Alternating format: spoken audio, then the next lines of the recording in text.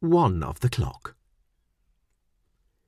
It is now the first hour, and time is, as it were, stepping out of darkness and stealing towards the day. The cock calls to his hen and bids her beware of the fox, and the watch, having walked the streets, take a nap upon a stool.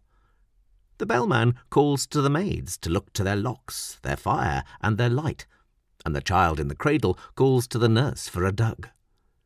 The cat sits watching behind the cupboard for a mouse, and the flea sucks on sweet flesh till he is ready to burst with the blood.